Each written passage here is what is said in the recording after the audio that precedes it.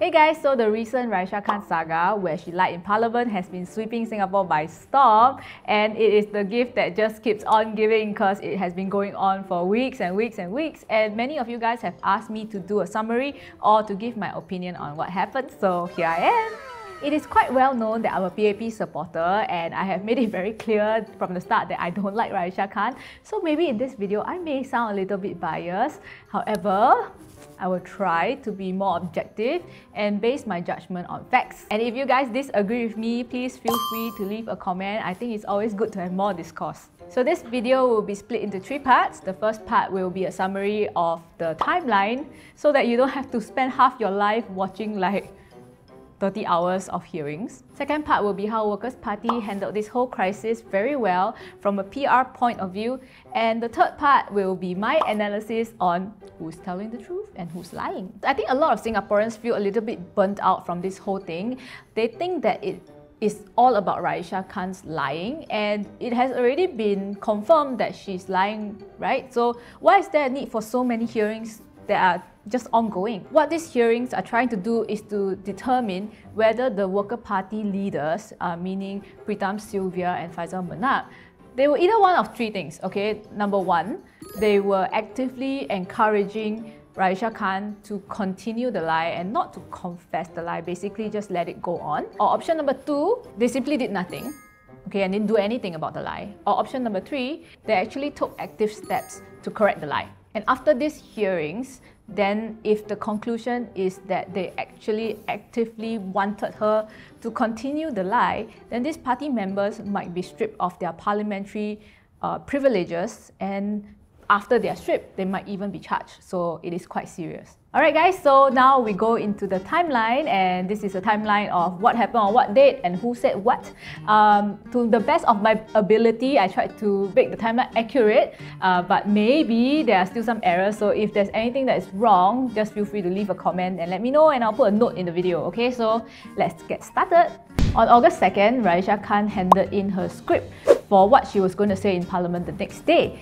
And in this script, she included uh, the anecdote, the famous anecdote which she lied about, okay? And typically WP members will hand in their scripts to a portal, um, typically about a week in advance, so that other members can see what they're going to say in Parliament and give their opinions, okay? So uh, on the script, uh, Pritam Singh then left a note on the anecdote and he said substantiate question mark that was the only thing that he said and Raeesah Khan I guess chose to ignore what he said okay so now we go to August 3rd which is the next day so on August 3rd, Raeesah Khan then delivers her speech, which includes the famous anecdote where she was lying.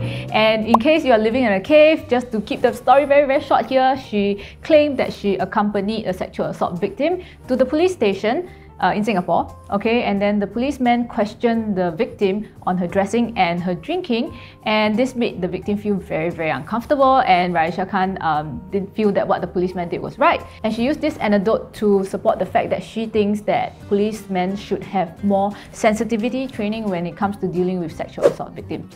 On August 7, after a few days of uh, Pritam sort of hounding Raeesah on details of the anecdote that she told, she finally decided to confess to Pritam that she has told a lie. Now we move on to August 8. So after realizing that Raeesah has told a lie in Parliament, Pritam then decided to call for a meeting. And this meeting was at Pritam Singh's house together with other party leaders, uh, Sylvia Lim, Faisal Manap, Pritam Singh and Raeesah Khan. So during Raeesah's first COP hearing, she says that her takeaway after that meeting was that if the lie was not exposed, there will be no need to clarify it. According to her first testimony, she said that she was looking for guidance on what to do. She said that she didn't know what she should do, whether she should confess or continue not clarifying the lie, and went to them for advice because they are more seasoned politicians. After the meeting, she then texted Miss Loh and Nathan and told them that the party leaders wanted her to take the information to the grave. According to Pritam Singh's version of what happened during this meeting, he said that the party leaders didn't give Raeesah Khan any advice on whether she should clarify the lie or not because she was crying the entire time. She seemed like she was very distraught, so they were very concerned for her mental well-being and everyone was just very shocked by the news of her sexual assault. They simply told her that she should inform her parents about the sexual assault. When Edwin Tong asked Pritam Singh why he thinks that Raeesah would tell Miss Loh and Nathan that the party leaders told her to take the information to the grave, he said that she had told him that she suffers from dissociation and that she should actually get her mental health checked out. And I think he's just using a very like proper way to say, how the fuck I know what she like, she's still lah. After Pritam's COP hearing, Raeesah had a second COP hearing as well where she responded to what he said. Raeesah is very firm that she has heard the exact words take it to the grave and this phrase was uttered by Pritam Singh in front of both Faisal Manap and Sylvia Lim. She also added that those are not words that she typically would use and therefore she was quoting him verbatim. Raeesah also added that Pritam's initial reaction was that he was to take her to the Committee of Privileges since she told a lie in Parliament. However, that position changed after discussion. And she also added, interestingly enough, that during this August 8 meeting, there was actually no discussion on whether she should tell her parents or not. Okay, now we go to September 13 and it has been a month since the Workers' Party's leaders knew about the lie.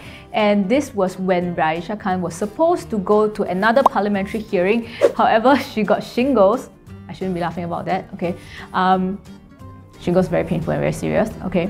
Leading up to this parliamentary session, there was no follow-up uh, by the Worker Party leaders on whether she should come clean or not, and they did not ask her whether she has told her family about her sexual assault experience. Now we come to October 3rd, and it has been two months since the lie was uttered in Parliament. So, in preparation for Raeesah going to a parliamentary session the next day, Pritam had a meeting in private with Raeesah Khan alone, and this is where the famous I will not judge you phrase comes into contention. According to Pritam, what he told Raeesah was that she needed to take ownership and responsibility for her lie, and he also added that I will not judge you, meaning I will not judge you if you tell the truth in parliament, or rather confess the lie.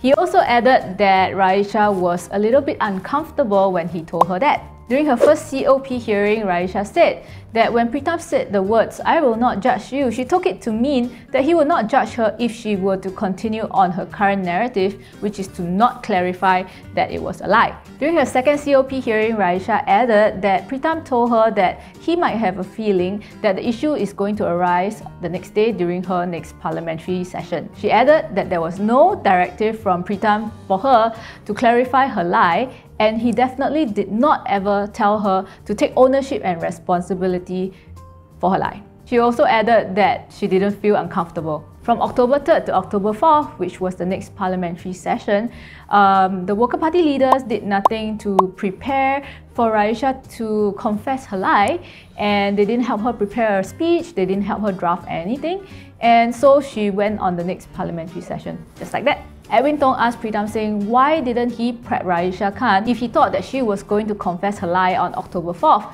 Pritam's reply was that he didn't know if the issue was going to arise. Now we come to the very exciting October 4th, which I'm sure a lot of you guys have seen videos of.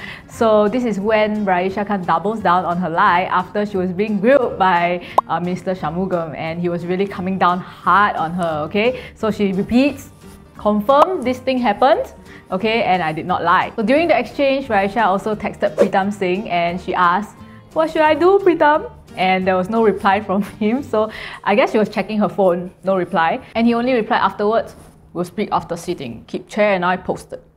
So same day on October 4th at about 11 pm after the parliamentary session, they held an emergency meeting and this meeting had Pritam Singh, Sylvia Lim and Raeesah Khan present. According to Pritam Singh, Raeesah said, Perhaps there's another way which is to tell the truth, and Raeesah agreed that she did say this sentence. According to Pritam, his reply was, but look at the choice you made. His takeaway from that meeting was that Raeesah was finally ready to own up and he said he felt very relieved. So there was a next parliamentary session on October 5th, which is one day after Raeesah doubled down on her lie.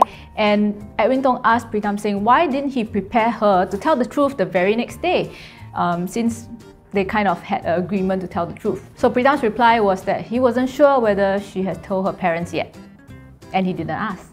Now we come to Sylvia Lim's version. According to her, Pritam Singh had asked Raeesah what she was planning to do, and when asked why they didn't prepare her to confess on October 5th, her reply was that they had a lot on their plate, um, something to do with FICA.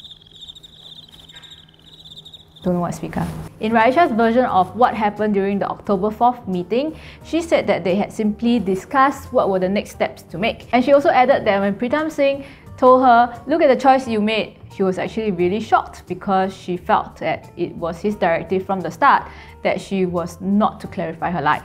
On October 7, just as Minister Shanmugam promised he was not going to let the matter go, so the police emailed Raeesah to come down for a talk. I think there were like three times that the police emailed her and she kind of ignored all of them. According to Raeesah, both Pritam and Sylvia had told her that she should just ignore the police because they cannot force an MP to go to a police investigation as during parliamentary sessions you have parliamentary rights. According to Pritam, he said he has neither directed uh, Raeesah to answer or not answer the police. And he claims he also told Raeesah to tell the police that she was planning to confess soon. According to Sylvia Lim, she told Raeesah that the proper place to confess would be during parliamentary sessions, and she also said that it would be okay to leave it, meaning kind of ignore the police, uh, because she was going to confess anyway. Okay, so now we've come to October 12. There was another meeting between Pritam, Raeesah, and Sylvia Lim, and according to Raeesah, during this meeting, the party leaders and herself have discussed and they decided that there was no choice now uh, but to come clean. They also told her that there will be no disciplinary action that will be taken against her. According to Pritam, Raeesah was still initially unwilling to tell the truth and he finally managed to convince her that she should. According to Sylvia Lim, both Pritam and herself were very very upset and angry with Raeesah because she initially didn't want to come clean and when Pritam asked her what she planned to do next, she said, I still don't think I want to tell the truth. However, according to Raeesah, she was never unwilling to come clean from the start since August 7 when she confessed to Pritam and this whole time she has been just looking to the party leaders for direction on what she should do. On October 12, Pritam Singh met with both Ms. Loh and Nathan. According to the two of them, when Pritam said, I would not judge you, they interpreted it as being able to go either way. But Pritam thinks that he was very clear that I will not judge you means he thinks that Raeesah should confess her lie. When Edwin Tong asked Pritam Singh if you were very clear, then why would the two of them be unclear about what your directive is? He said that the two of them are very protective of Raeesah and therefore they could have been lying. Now we come to October 29. This is when Raeesah prepares a speech to confess and Pritam read through the speech and also helped her to edit some parts of it. November 1st, this is when Raeesah Khan confesses in a parliamentary session that she has told a lie. On the same day, Pritam Singh puts up a Facebook statement and in this statement, he does not disclose that the party leaders knew about the lie since months ago. When asked why he did not disclose this information, he said it's not relevant or important for the public to know about it. On November 2nd, the next day, WP puts out a media statement about a disciplinary panel that was formed for Raeesah Khan. And when Edwin Tong asked in this statement why did you not disclose that the party leaders knew about the lie since August, he also said, repeated the same thing, it is not relevant for the public to know. According to Raeesah, she was very shocked that there was a disciplinary panel that was formed for her because she was told that there was not going to be. On October 29, there was a disciplinary panel interview with Raeesah and interestingly enough, this panel consisted of the three people who knew about the lie since August. That would be Pritam, Sylvia and Faisal Manap. During this disciplinary panel interview, neither the public nor WP members knew that these three party leaders were privy to the lie since August. When Edwin Tong asked Pritam whether he thinks that there was a conflict of interest since the three party leaders were kind of you know, involved in the lie that went on for a little bit too long, uh, Pritam thinks that he did not think that there was any issue. November 30th, Raeesah hands in her resignation letter and resigns from WP. On the same day that Raeesah Khan resigns, the CEC voted on the disciplinary panel's findings. So if you're confused what the CEC is, it's a group of WP members and they are to look at the findings about what the disciplinary panel has sort of discovered from their interview with Raeesah and then they will decide what to do with Raeesah, okay? And because they have not yet received her resignation letter, it was sent on the same day, they then all voted overwhelmingly to expel Raeesah if she does not choose to resign on her own accord. Now we come to December 2nd and Workers' Party held a press conference. So this is the first time that the public knew that the three Worker Party leaders were privy to Raeesah's lies a few days after she told the lie. And it's interesting to know that this press conference was held about the same time as the first COP hearing of Ms. Loh. And when Edwin Tong asked Pritam Singh Is it because you knew that during the COP hearings it would come out that you three knew about the lie so early? Pritam said no, it is just a coincidence. Okay, so that's my recap of the timeline of what has happened and I hope it made things clearer for you guys. Now we've come to part two and I just want to talk about you know how from a PR perspective I think Workers' Party did really well uh, on controlling the media narrative and this was actually quite a terrible crisis for them but they kind of managed to change it into something that is you know, salvageable. I guess this part is not really relevant, but I find it still very interesting because I myself work in the media industry and public image is very much involved. Okay, so let's look at how they did it. Number one, the hearings for Pritam Singh went on for about nine hours, okay, and this is like a really, really long time. But I feel like, you know, during the times where he was grilled by Edwin Tong, right, there were a lot of instances where he was very needlessly arguing on certain things. If you ask him like, have you eaten today? He will just be like, what do you mean by eaten? Is it the consumption of food? Are you referring to water as well? And what do you mean by today? Is it lunch, dinner, breakfast? Like just fucking answer the question lah. You know, like everything that Tong asked him, he just go around and around and around. And the end result is right, like nobody wants to view nine hours of footage. It is just like, oh my god, there's so much shit going on. So I think that that is great for Workers' Party because the less people know, the easier it is for them to kind of like not form an opinion so much, I guess. Yeah, so that's a good move. Also, the end result is that many netizens have remarked that uh, Pritam was grilled for nine hours, like kind of on the stand, you know. So they feel like he was being bullied, like by being like asked to stay there for so long. Ah. Mm, but I really feel well it's because him himself keep talking in circles, that's why I don't. Mm. So during the hearings, Pritam Singh actually performed very well and I think many Singaporeans agree on this. He kept the exchanges between him and Edwin Tong very, very dramatic, right? So instead of focusing on how culpable the WP leaders are, people are instead like watching the drama between these two like sparring lawyers and seeing like, you know, who actually came off the fight on top. And he also repeated several times that he is the leader of the opposition. and I think that this gives Singaporeans like more faith that he is fit to lead. Point number three, we also noticed that during the first COP hearings, Pritam is wearing a red tie. So some people online, including myself, have commented that he sounded defensive, a little bit too aggressive. When he was called back to do a second hearing, this time round we see him wearing a blue tie and he was a lot more nice, a lot more calm, and I would say even almost docile. This could have been to make himself seem a bit more cooperative after the feedback from the first hearing. Point number four, there was a press conference held and during this press conference, Singaporeans for the first time knew that the Worker Party leaders uh, knew about the lie since August 7th. And it's not until December 2nd when the public knew about it. So this is months and months and months later. This press conference was time to be exactly during Ms. Loh's COP hearings. And Ms. Loh's COP hearings was the first of the COP hearings, okay? And actually during her hearing, uh, Edwin Tong had to say, you know, hot off the press, uh, Workers' Party just came out with a media conference and this is what they said. Ms. Loh, I'm looking at this literally as I speak with you. Yeah. But there are several points which cut across what we have been discussing earlier, and Yeah. I'd like to get your clarification on it. And this is based on the media reports. That's when she famously cried. Even though Pritam Singh told Edwin Tong it is just a coincidence, but I don't think it's a coincidence, you know, how can it be lah? So I think that they were really smart because they knew that during the COP hearings, Miss Loh is going to expose them and say, ah, you see, ah, these people, ah, they know about lies since so long ago. Ah.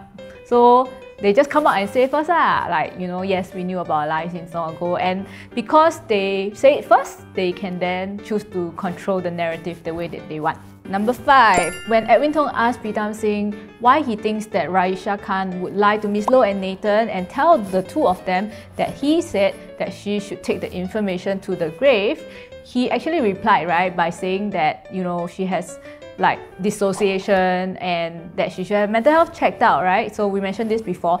And I think that it is a clever move, even though it's not very well perceived by the public, like some people think it's not a nice thing to say about somebody's mental health. Still, it gives this impression, right, that Raeesah can't like still ding dong like that. Like you cannot really trust what she's saying. Ah, like this woman like crazy anytime can lie. And it has already been proven that she did lie, right? She did lie twice. She lied once uh, when she first said the anecdote, and then she lied again on October 4th. So who knows what this Xiao person lying about again? It's a little bit mean I guess. Because until Pritam mentioned that Raeesah Khan has dissociation, actually nobody knew about it.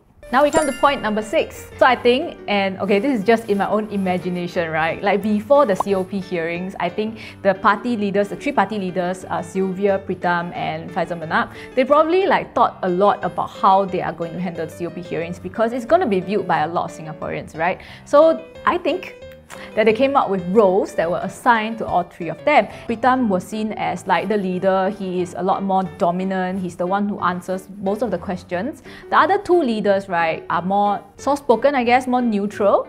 And a lot of times they said that they weren't privy to a lot of information, they cannot remember or they were not present. So I think they left uh, Pritam to be the figure of authority and to do most of the talking so that they can maintain, you know, like some level of consistency and having only one person say things will actually reduce the risk of having contradictions in all of their testimony. I think it's important to have all of these roles because if you have all three leaders who don't really know what's going on, they are all very neutral, well, it would seem like the party is very inept. And if you have all three leaders very assertive and very dominant, right, it also comes off as overly aggressive. So yeah, I think the roles are important. Okay, so that's it. I just wanted to talk a little bit more about the PR crisis management bit because I thought it was done really, really well and many Singaporeans were successfully sidetracked, right, uh, into discussing many issues that were not very relevant to the topic at hand, which is how culpable the WP leaders are. Yeah.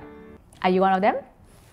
Okay, so now we've come to part three, and I'm going to draw you back to the issue at hand. At the end of the day, I guess the job of the COP is to determine how culpable the WP leaders are in the cover up of this lie that went on for way too long. My personal belief is that the Worker Party leaders, meaning Pritam Singh, Sylvia Lim, and Faisal Manap, since they knew about the lie on August 8, they actually meant for Raeesah Khan to not confess to the lie and just not talk about it in the hopes that it will not get exposed. And here are my reasons. Reason number one, motive. Okay, the three leaders I feel have motive to not let Raeesah confess to the lie because I think that if she had confessed from the start, this would spell a lot of trouble for WP. She already had a lot of controversy with her whole race baiting incident that happened like before she was fielded. And when this incident came about at the start, before she even joined the WP officially and was voted in, right, they actually stood behind her and supported her still and said that they trusted in her character, that she would, you know, be a good MP basically. And now if it comes out that she actually lied in parliament, then it would seem as if like their judgment's not very good, right? And there was red flags from the start. They still decided to go with this candidate. I think it wouldn't reflect very well on them. So I think that the party will actually stand to benefit. If this incident is just over, then it's over. There's no trouble for the WPMA versus if they actively came out to confess, then there will be a lot of trouble for them. So I think that is their motive in, in sort of covering it up. I think that, you know, a lot of people think that Raeesah is a is a liar, it's an unrepentant mm. liar, compulsive liar. She just lies and lies all the time. And because she has been proven to be a liar already, nobody believes her. However, I think about it, right, I don't feel like she has a motive to drag Workers' Party uh, through the mud. It doesn't benefit her in any way. Like her reputation is already in tatters, right? Nobody believes her anymore. She's no longer working as a politician, and I highly doubt she ever will have a chance to ever be an MP or do any politics ever again in her life. Not that she needs to, lah, okay, lah, cause her family like mm, super rich, lah, okay? Not relevant, but anyways, I don't think she has the motive to sort of do this to them. Maybe some people would say that, you know, she wants to say that she was instructed not to confess to make herself seem less like a bad guy, maybe, I don't know. But I think that most people's impression of her is already down the drain because she's the one who just out of the blue decide to lie in parliament, ma. Like, not only is it stupid, it is dishonest, you know, like so people already have a very bad impression of her. To kind of salvage it by saying, oh, I didn't confess because people told me not to confess. It doesn't really help her reputation in any way. So why would she do that? I do sincerely believe that like she has put in quite a lot of hard work uh, during her time with Workers' Party. I would say that she sincerely supports what the party believes in and her, you know, her her point of view, like her political point of view, unless they must have betrayed her trust in such a way that she's mother pissed off about it that she's coming out to say all these things. Yep. So that's my conclusion on motive.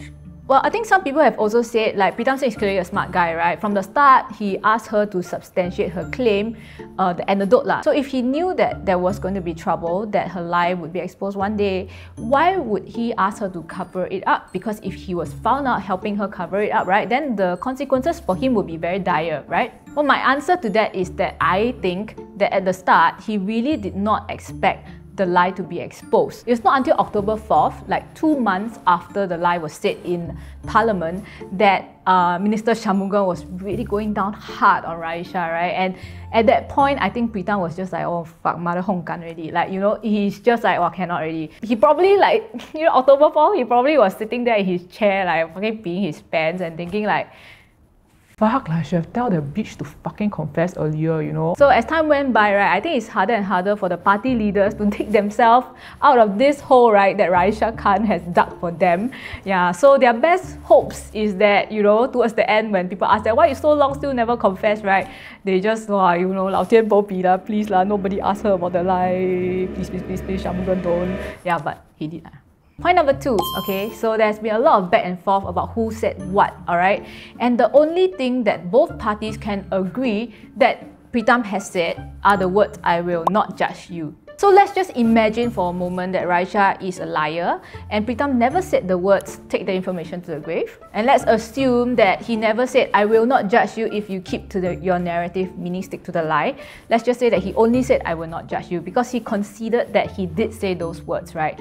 Those are very, very vague words, right? Even if I discount Raeesah Khan's testimony, I don't for a moment believe that somebody as smart as Pritam Singh would ever use such vague words to convey what he wants to say. If he wanted to be very direct and very sure that Raeesah Khan got his meaning, that she should confess her lie, I really don't think he will use words like that. I feel like it was said in an attempt to protect his own ass in case the lie ever gets exposed. What Pritam is arguing is that he meant, I will not judge you if you tell the truth. And what Raeesah took away from that is, I will not judge you if you continue the lie. And during the hearings, uh, Pritam Singh said that he is very clear in his directive for Raeesah to confess because he had told her that she should take responsibility and ownership of her actions and he also had told her that it is not right to lie in parliament. However, I don't I still don't think it's very clear. Uh, to me, it seems like this, okay? Let me just give you sort of an analogy, a scenario that I would imagine in my head. Uh, let's say, for example, you plagiarize in the exam paper, right, that is a very, very important exam paper, lah, okay? It means you pass or fail, okay? And it affects your future. And then you plagiarize already, right? Then you come home, you tell your mom, you say, hey, mommy, I, I plagiarized in this paper, like how I feel like I'm very scared about it. Then your mom says, oh my god, you fucking idiot. Like, why would you do something like that? That is clearly wrong, you shouldn't do that. And if you get caught, you, wow, GG lah. then you ask your mom, right, like, huh, like that how ah? What should I do ah? Should I go and tell the lecturer or the, like the professor that I plagiarized like my thesis, right? And your mom goes, up to you. I will not judge you. What will you take away from that? Like it just it just does not make sense that I would not judge you would be I would not judge you for telling the truth, even though she has said that it's wrong. It doesn't mean that she wants you to confess because she also knows that you confessing means that your grade will be shit, you will get into trouble. Your future involves your mom, right? She wants you to have a good future as well. So in this case, the mom is like Pritam lah. If Raeesah Khan confesses, then he will also get into hot soup, right? So it is only natural for any human to take I will not judge you as fine, you go and do the wrong thing, I will not judge you, right? But you will never tell someone, if you do the right thing, I will not judge you. For what you judge somebody for doing the right thing? That doesn't make sense, lah. Yeah, so that's my takeaway from that. Point number three. So on October 4th, during her parliamentary session, uh, when Raeesah Khan was being grilled by Minister Shanmugam, she actually texted Pritam Singh to ask, what should I do, Pritam, right? You can see that Edwin Tong was kind of suggesting uh, to Pritam during his COP hearing that her texting him meant that she is still unclear on his directive, right? So she still doesn't know what to do. But according to Pritam Singh, he thinks that from the start, he has been very, very clear that he wants her to confess and that he already said, like, you know, it's your call. As a member of parliament, you should know the right thing to do. La. So what he's saying is that I told you from the start, this is what you should do, but I leave it up to you to do it because I believe that you're a responsible human being, right? But in my point of view, I feel like she was definitely wasn't clear about what he wanted her to do because she still asked him for directions while she was on the stand. The text suggests to me that at best, you know, Pritam Singh is a very bad communicator and he wasn't clear uh, whether she should confess the lie or not. And at worst, it could be that he did tell her to stick to her lie. And when she was being grilled, she was panicking because she was being grilled so hard. She did not know how to continue sticking to her lie, so she texted him for help. Point number four, during their COP hearings, all three party leaders said that after they found out that Raeesah told a lie, they all were waiting for her to tell her family about the sexual assault experience, right? However, if they actually wanted her to confess, they should have had a private meeting, sort of like between the three leaders, just without Raeesah, just the three of them discuss and say, you know, okay, well, while we're waiting for her to tell her family, what are the next steps, right, that we should take? The fact that they never, they all three agreed that they didn't talk about this thing privately among themselves, this suggests to me that like they already decided to do nothing about it, which is sort of to let the lie slide lah. Maybe they felt like there's no need to discuss lah because we won't get caught lah, so okay lor. One of the questions that Edwin Tong asked the party leaders was, you said you were giving her time to tell her family about her sexual assault experience, but how long do you intend to give her? There must be some kind of timeline, right? If I intended for you to confess, I would say, okay, Raeesah, I'll give you like a week to let your family know and to get mentally ready for this because there's going to be a lot of backlash on you. I think you should see a therapist, get yourself ready, blah blah blah, all these things lah. So there was no timeline that was given to her. Nobody went to check on her to ask her, have you told your family members yet? But as it went on for months and months, and you say that you are still giving her time to tell her family, then is 10 years okay? It's like 20 years, okay? If there's no timeline given, I think any reasonable person would just be left to assume that you are okay with her never clarifying the lie. Point number six. On November 1st, right, Raeesah finally did her confession. And on October 29, which is a few days before her confession, the party leaders actually met up with her. They discussed how she should go about the confession, and they help her draft her statement, uh, you know, to prepare for the confession. So my question is, if they had meant for her to confess any earlier, then why didn't they do any of this preparation work, like which is to help her confess, right? Because during the actual confession, you help her, ma. So if you had wanted her to confess earlier, then you would have helped earlier. Make sense? So I guess some people will say, well, they eventually did confess. It's just that they took a longer time. It doesn't mean that they meant for her to continue the lie. But if you are about to get caught, then you confess, right? Then you get no credits for honesty at all because you already know you're gonna get caught. Then you confess, ma. So you cannot use this to say, yeah, I confess. Well, it means I wanted to confess from the start. I just took a longer time. Like cannot lah because you already about to get caught. Well, of course you confess, right? Like how can you use that as evidence to show that you meant to confess in the first place? I don't think it proves anything. Point number seven. So many times during the hearings, we see that the three party leaders, um, they kept saying that they wanted to give Raeesah like time and space because she is a victim of sexual assault. They sort of said, and I'm paraphrasing here, that they trusted Raeesah to take responsibility and ownership of her own actions, but they didn't really want to push her uh, because they care a lot about her mental well-being, and that was their first priority. So basically what they're saying is, you know, you go and confess to a lie, I already told you that you should confess to your lie, but you own time, own target lah, huh? because you're not feeling well, ma. But yet, several times during the hearings, right, we see Faisal Manap and Pritam Singh both uh, mention the nature of Raeesah Khan's sexual assault. Sequence, as I mentioned to you, the sequence that she admitted, sorry, she confessed of her being. Uh, when she said she was, uh, uh, she had been when she was 18. So she, she confessed that she's being. Mm. Okay, we were taken aback. Put ourselves between me and my daughter. Mm. Father, I was, but I lied to you. Again, I, I, I respect what you said earlier. The, I used the word earlier because this was the word Miss Raeesah Khan uh, used when she described herself. But if um, chair and the committee would want me to use sexual assault, I'm happy to use that word. I'm quite happy if you can just use sexual assault. Okay, I will use sexual assault. And um, this is clearly an issue that she's very sensitive about.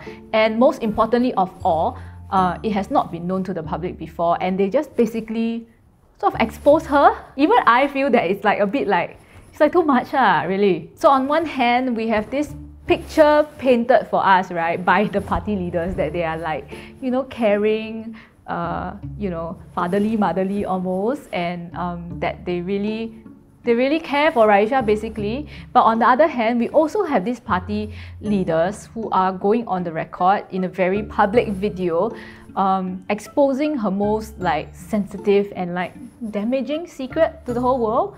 Yeah, so I, I, I just feel it's a little bit like contradicting also. If you if you say you care about her so much, then why now you don't care anymore?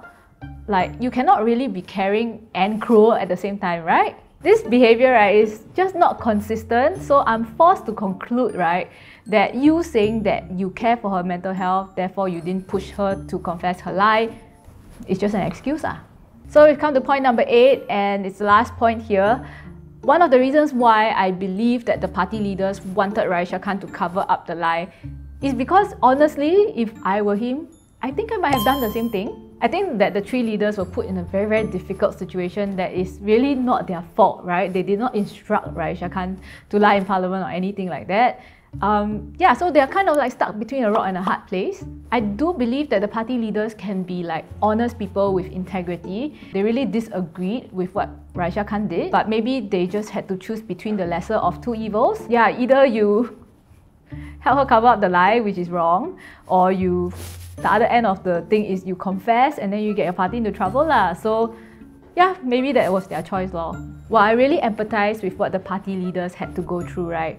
I think we also need to remember that although, you know, many people think that it's very common that politicians lie, it is different when it's in a parliamentary setting and that's why it's so much more serious. In parliament, this is where we form our laws and important decisions about the country are being made. So you can't like just lie in parliament lah. It's it's serious lah basically. While we cannot really be sure, okay, there's is a lot of he says she says. Uh, we cannot be sure whether the WP party leaders directed Raeesah Khan to continue with her lie or they directed her to confess the, the lie early we don't know these two things for sure. One thing we can be sure of though is that there's no clear action on the three party leaders' part when they had known about the lie months before it was actually confessed. So at best, I guess you can say that they let the matter slide for too long, uh, which signifies a degree of ineptitude or neglect, and at worst, they tried to actively cover up a lie that was said in Parliament. Okay, so we've come to the end of this very long video, and my conclusion is stop voting for woke people. Hello, I told you guys from the start, right? This Raeesah Khan cannot make it, right? And then everyone is just like, oh my god, she's a goddess, I love her. I'm gonna make a poster for her. She's the best. Like hashtags and everything. What did I say? What did I say from the start? Don't listen, right? This is what happened. Uh. Woke people are the worst, okay? Because they believe like their like agenda is like the most important. They need to save the world, so they will do anything to achieve those agenda, okay? And while I don't agree with her ideology, I do sincerely feel very sorry for her that she had to suffer such a traumatic event, okay? It is very unfortunate lah. However, I do think right that it really doesn't justify her lying in parliament because she could really have made her point across without lying at all. Okay guys, so remember to do the whole liking, subscribing, hit the bell thing. And I guess I'll see you guys for the next video. Bye!